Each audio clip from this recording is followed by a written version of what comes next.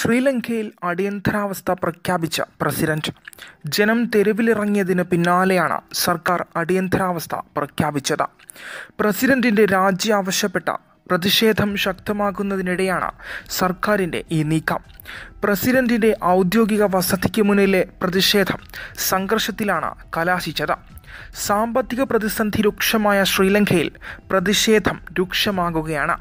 ഇന്ന് കൊളംബോയിലെ സ്വാതന്ത്ര്യ സമര സ്മാരകത്തിൽ നടക്കുന്ന പ്രതിഷേധത്തിന്റെ ഭാഗമാകാൻ രാജ്യത്തെ വിവിധയിടങ്ങളിൽ നിന്ന് പ്രതിഷേധ മാർച്ചുകൾ തുടങ്ങിയിട്ടുണ്ട്.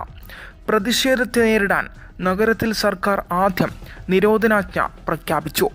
നിയമം കയ്യിലെടുക്കുന്നവർക്ക് എതിരെ ശക്തമായ നടപടി ഉണ്ടാകുമെന്ന് സർക്കാർ അറിയിച്ചു. ഇതിനു പിന്നാലെയാണ് രാജ്യത്ത് അടിയന്തരാവസ്ഥ പ്രഖ്യാപിച്ചത്. സ്വാതന്ത്ര്യം നേടിയതിനു ശേഷമുള്ള ഏറ്റവും വലിയ സാമ്പത്തിക പ്രതിസന്ധിയാണ് ശ്രീലങ്ക നേരിടുന്നത്. നിരവധി പേരാണ് രാജ്യത്തു നിന്ന് പലായനം ചെയ്യാൻ ശ്രമിക്കുന്നത്. രണ്ടായിരത്തി ഇരുപത് മാർച്ചിൽ തുടങ്ങിയ പ്രതിസന്ധി രണ്ടായിരത്തി ഇരുപത്തിയൊന്ന് നവംബറോടെ രൂക്ഷമായി.